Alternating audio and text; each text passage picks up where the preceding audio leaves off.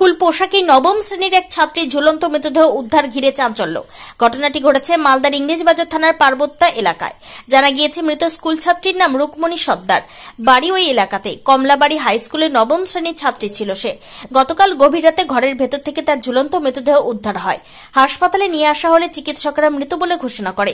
আজ মৃতদেহ ময়নাতদন্ত করার পর পরিবারের হাতে তুলে দেওয়া হয় দেহ।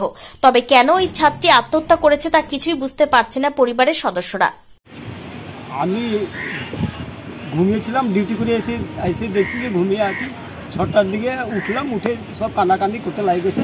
তারপরে আমি জানতে পারলাম যে বাবা কি হলো না হলো? এসে হসপিটালে ভর্তি করলাম আমি। কি হয়েছিল? কি দেখলেন? আমি দেখলাম যে লোকে বলছে যে ফাঁসি লেগে মেয়ে গেছে তোমার মেয়ে। তখন দেখতে পাচ্ছি যে লোকজন আসলো জুটলো। এসে ওরা দেখছি টানাটানি করে নিয়ে আসছে। এটাই দেখতেই দেখেছি আমি। আমি কিছু যাই না স্কুল ড্রেস পড়েছি কি দিয়ে ফাঁসি লেগেছিল? ওই অর্ণা দিয়ে। কিছু অনুমান করতে পারছেন কেন না আমি ওগুলো কোনো কিছু অনুমান করতে পারছি না আর কোনো কিছু এই লড়াই ঝগড়া কি কোনো কিছু ওগুলো কোনো কিছুই নাই একদম। সিধা সাদা আমার মেয়ে একদম। আপনার নাম কি? আমার নাম নিমাই সর্দার। মেয়ের নাম আপনার?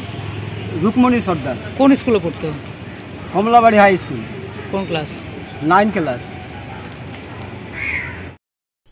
Bureau report news for Bengal. This channel does not promote or encourage any illegal activities.